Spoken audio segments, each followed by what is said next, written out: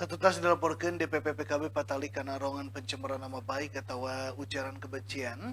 Kiwari Lukman Edi, Sekjen DPP PKB Mantan dilaporkan ke Polda Jabar ku pengurus DPW PKB Jawa Barat.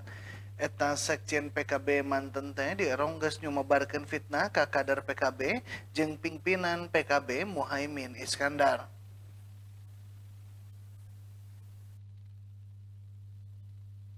Kalawan dikawal ku sejumlah kader DPW PKB Jawa Barat, Sekretaris DPW PKB Jawa Barat ngadeg-deg ka Mapolda Jabar bikin ngalaporkan Sekjen DPP PKB Manten Muhammad Lukman Edi ka Direktorat Kriminal Khusus Polda Jawa Barat.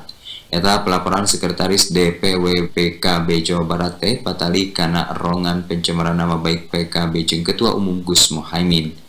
Sekretaris DPW PKB Jawa Barat Acep Jamaludin nembrakeun Lukman teboga kapasitas lantaran kiwari teboga kalungguan di PKB. Di anti itu Acep ngerong Lukman geus ngalakonan tindak pidana ku cara nyumubarkeun fitnah anu saturuyna disiarkeun dina media massa.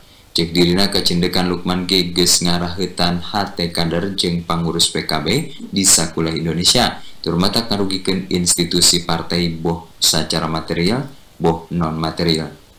Anu hartina PKB selaku partai Islam panggedena di Indonesia anu lahir tina rahim anu dituduh ninggalkan warga Nahdiyin selaku objek utama dina perjuangan politik. Acep ngembohan perjuangan PKB boh di level nasional boh di level daerah sakumaha papaga Gus Muhaimin di mangpirang kesempatan tawale sarendek saigal merjuangkeun keur kahadean nasib jutaan warga NU.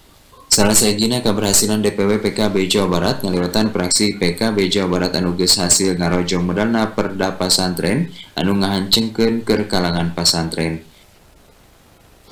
Kami melaporkan saudara Muhammad Lukman Edi pada dua konteks yang dia lakukan. Satu, Lukman Edi sudah membuat kita terkait dengan tata kelola keuangan pantai Bagaimana fitnahnya? Satu, Lukman Edi adalah orang yang di luar mekanisme. 10 tahun yang lalu, nggak tahu apa-apa. Tata kelola keuangan yang ada di PKB ini sangat tertata dan rapi. Sampai pada level DPC, tingkat kabupaten kota.